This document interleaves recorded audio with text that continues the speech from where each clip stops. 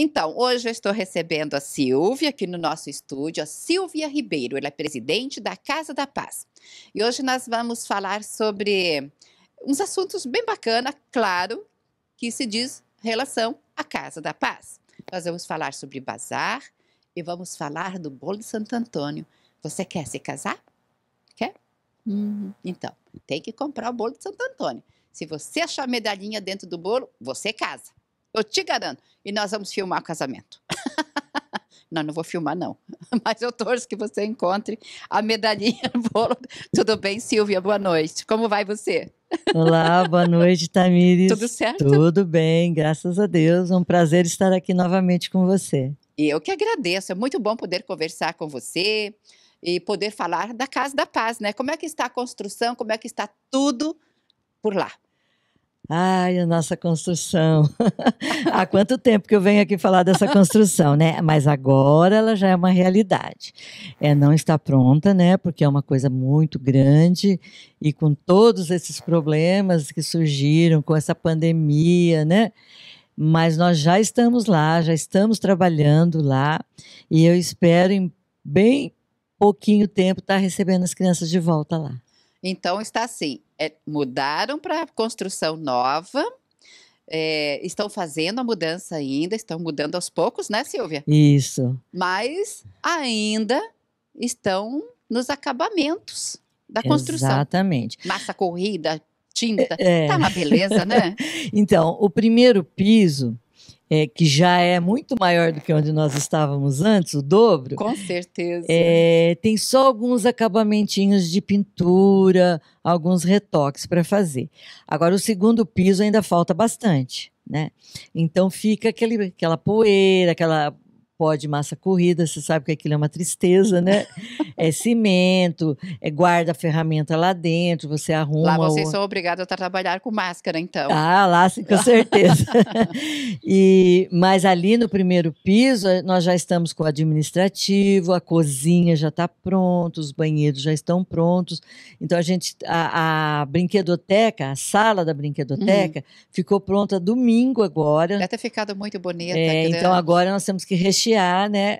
A, a mudança, os, os, os, móveis da brinquedoteca ainda estão na casa antiga. Você vai levar todos os móveis até você conseguindo colocar móveis novos. Sim, não para a brinquedoteca nós já temos os novos. Nossa! Já, nós temos chique, hein? nós temos bastante coisa nova para levar, porque em 2018 nós conseguimos um edital do estado para bens móveis duráveis. Nossa! Então foi quando a gente conseguiu o veículo que nós estamos já usando há Sim, dois anos, uhum. e alguns móveis, né? Inclusive o da brinquedoteca, da sala de música. Então nós temos esses, esses materiais guardados, esperando a oportunidade de levar para casa nova. E Nossa. chegou a hora. Mas vai ficar muito bonito. Vai ficar hein? bonito. As crianças vão se divertir. A brinquedoteca nós já vamos daqui para o começo da semana que vem já vamos arrumar. Os aparelhos de ar condicionado já estão já estou tentando um horário com o nosso amigo lá, Carlão, né, Carlão? Vamos ver se, se ele arruma um tempinho para instalar os aparelhos, apesar que agora está fresquinho, né? É. É, ele não está fazendo falta, mas nós temos que instalar. Deixar por, tudo pronto para o verão. É, por vários motivos. E um deles é que esse material que vem através do edital, eu tenho que ter ele instalado em funcionamento para eu poder encerrar o, o, a prestação de contas. Você tem que né? fazer essa prestação de contas, Exatamente. mas a prestação de contas tem que estar tudo em ordem, tudo em funcionamento. Tudo em funcionamento, exatamente. Então ele estava em funcionamento lá, eu estava regular. Agora nós mudamos e ainda não trouxemos os aparelhos de ar, então tem que instalar. A segurança já está instalada, as câmeras. Aí eu estou em casa e estou vendo todo mundo trabalhando. Está cuidando, está cuidando à distância. É, muito legal. E, e os voluntários? Continuam? continuam. É, a, a, essa divulgação que a gente tem feito da, da nova construção ajudou até nisso.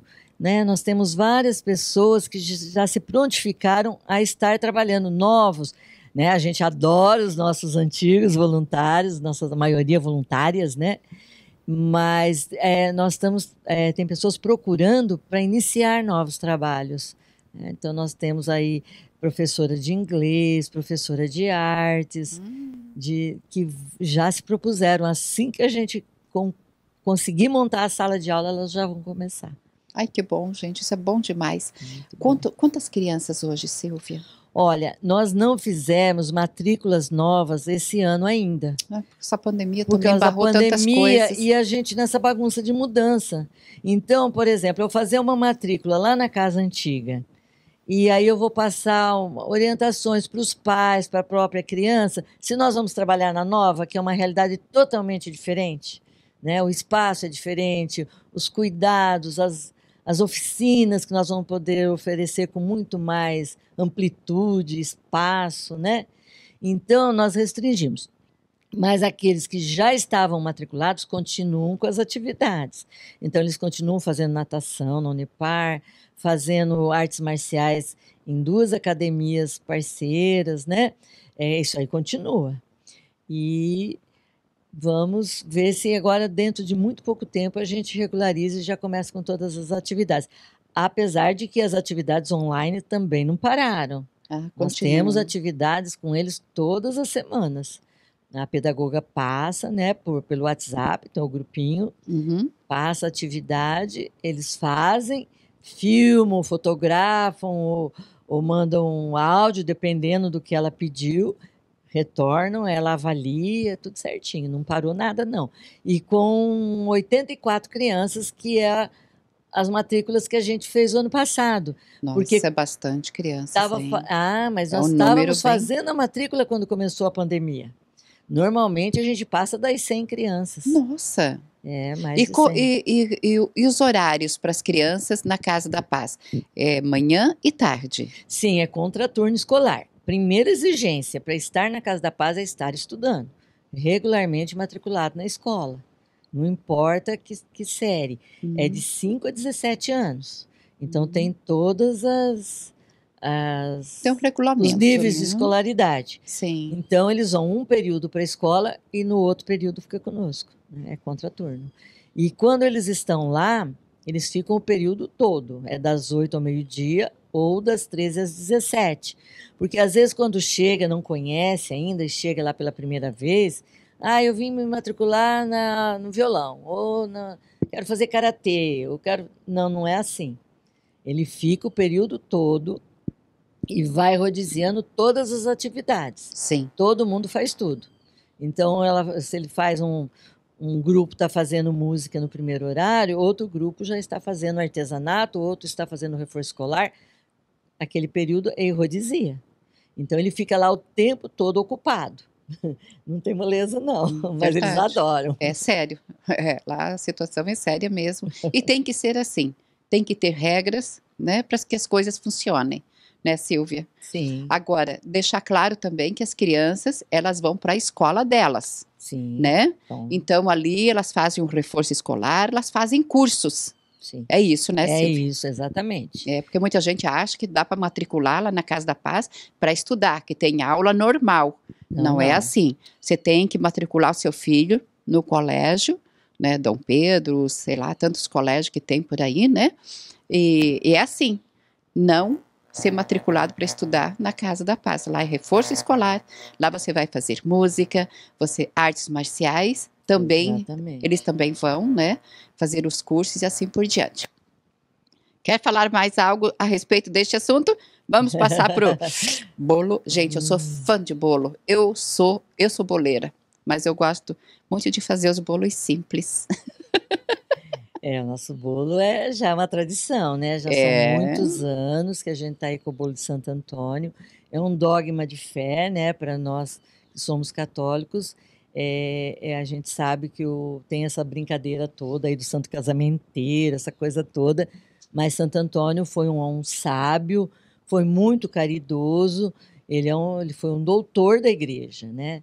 Essa brincadeira, essa tradição, vamos dizer, nem é uma brincadeira do santo casamenteiro, vem por conta de que na época de Santo Antônio as moças tinham que pagar é, é prenda, não é prenda que fala, dote, Adote. tinha que pagar o dote para a família do noivo.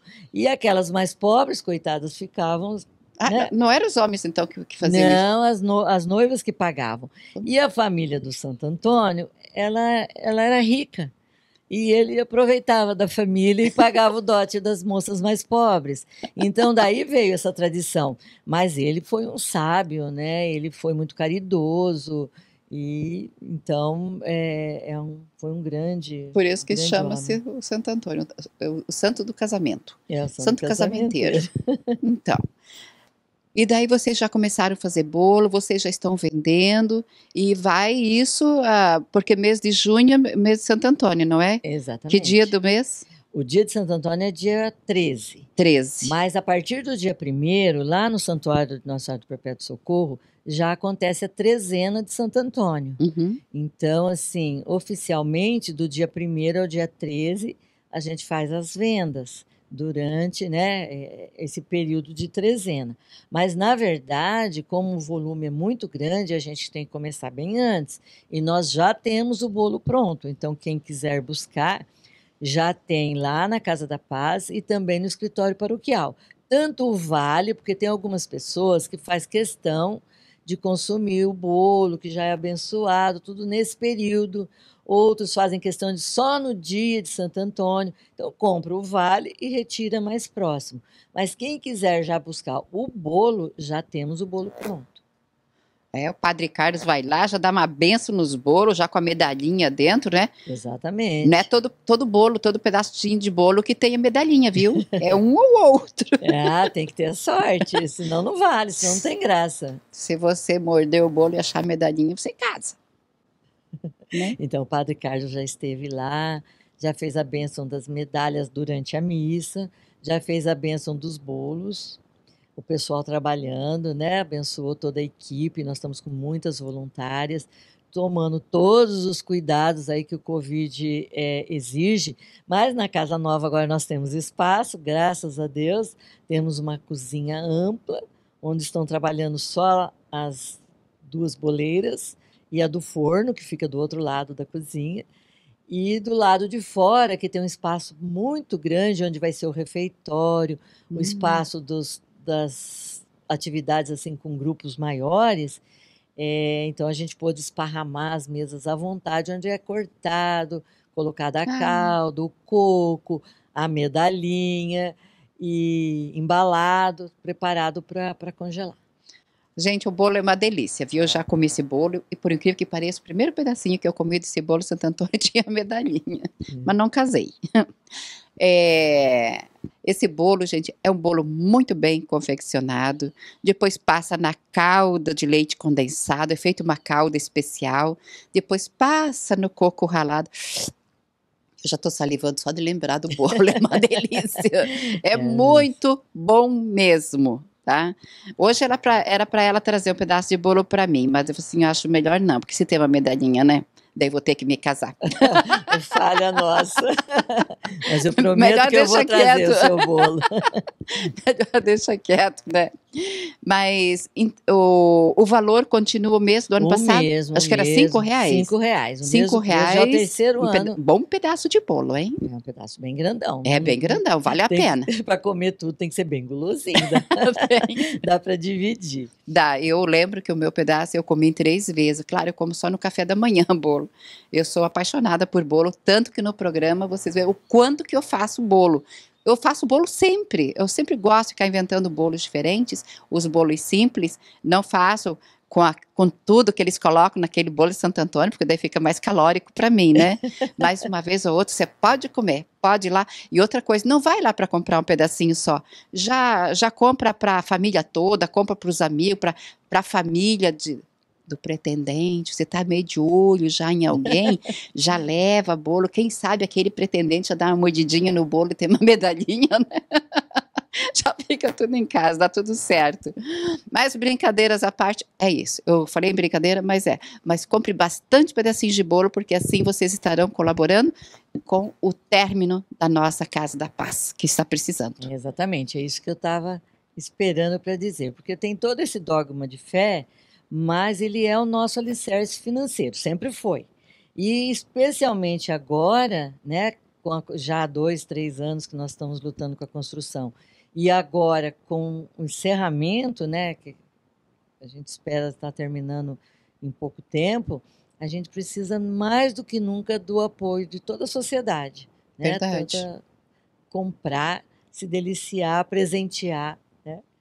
É, para a gente poder começar a atender as crianças lá no espaço novo.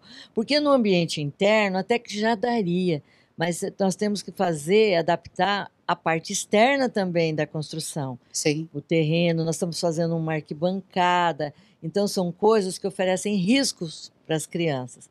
Nós precisamos esperar um pouquinho para poder levá-los para lá. Mas dentro de um mês, aí um pouquinho mais, eles já vão estar lá, com certeza. Vamos deixar o endereço? Sim, agora nós estamos de endereço novo, né? Isso, endereço novo já. o nosso novo endereço é na rua Mimosa, 3172, no Jardim Panorama. Isso, pertinho da igreja, né? Perto da igreja. Da igreja do Panorama. É, você quer deixar algum contato ou não? Bom, temos os nossos números, né? Pode deixar. Que é o 999760543 da Casa da Paz. Então, qualquer contato, se quiser pedir o vale, se quiser pedir o bolo ou qualquer outra Isso, informação. entre em contato. É zap esse número? É zap. Se quiser ser nosso voluntário, se quiser ir lá visitar, conhecer nosso trabalho, se puder fazer uma doação de qualquer espécie, de material, de material de construção, de material para as crianças, de alimento, de, de qualquer coisa, né? Nós, uh, tudo, tudo vai ser muito bem-vindo e gostaríamos muito de estar recebendo a visita, né, de, de muita gente, é, voluntários, novos voluntários, os nossos antigos voluntários, né? Estamos lá de portas abertas para receber todo mundo.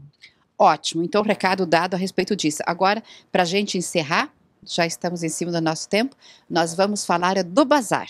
O bazar continua. Sim, o nosso, o nosso bazar Vestindo Bem, né? Um bazar que a gente faz, é, a gente, né? Nós temos um grupo de amigas que realizam, a Ione, uhum. a Neide, elas realizam é, um, um, bazar assim muito especial. Já procuramos assim um, um espaço bem localizado que facilite o acesso para todos. E ele está acontecendo, por conta da pandemia, com horário marcado. Então a pessoa liga, pode ligar nesse número da Casa da Paz mesmo. Nós temos várias voluntárias que vão lá atender um grupo de amigas, um grupo de parentes, né? Um número limitado de pessoas. Então, é, tem várias voluntárias que atendem, mas pode ligar diretamente na Casa da Paz, a gente direciona e vê quem pode naquele horário que a pessoa precisa, qualquer horário. Ótimo. É. Então, o número de telefone que ela deu para vocês entrarem em contato a respeito do bolo de Santo Antônio é o mesmo número que você vai entrar em contato e marcar o seu horário para o bazar. Gente, são produtos especiais, produtos de marcas famosas. A Ione Garcia já esteve no programa, né? Ela já falou a respeito do assunto, então vale a pena vocês conferir. Tanto lá, o bazar quanto o bolo de Santo Antônio, vocês adquirindo os produtos, vocês estão ajudando para o término da nossa Casa da Paz, para agasalhar as crianças novamente com todo carinho, cuidado e respeito. Exatamente. Agradecemos muito mais uma vez essa oportunidade que você nos dá e a todos que estão é, nos assistindo, né? Fica o convite para estar nos visitando. Quando a Casa da Paz estiver pronto, estiver tudo prontinho, nós vamos lá, vamos fazer uma matéria e vamos apresentar para vocês a nova Casa da Paz. Porque muitas vezes a Silvia vem, a Ione já veio para falar da construção da Casa da Paz. Então, a nossa obrigação, depois que estiver tudo prontinho, é mostrar para vocês, telespectadores, a Casa da Paz, ok? Pode ficar tranquilo que a gente vai fazer isso. Que Jesus te abençoe grandemente. Amém. E parabéns pelo seu trabalho. Você, essa mulher, ela trabalha 24 horas para a Casa da Paz, é sério mesmo. É verdade. É uma batalhadora, a gente sabe o quanto que você trabalha, o quanto que ela vai nas portas das empresas pedir uma ajuda, ou eles ligam, e, e o comércio de Umarama, graças a Deus, sempre deu respaldo, né? Sempre. E nós ficamos muito agradecidas por vocês terem ajudado a Casa Paz e estarem ainda ajudando a Casa Paz. Ajudem sempre, porque precisa. Eu vou ficando por aqui, eu vou para o comercial, eu estarei na cozinha com a culinária para vocês.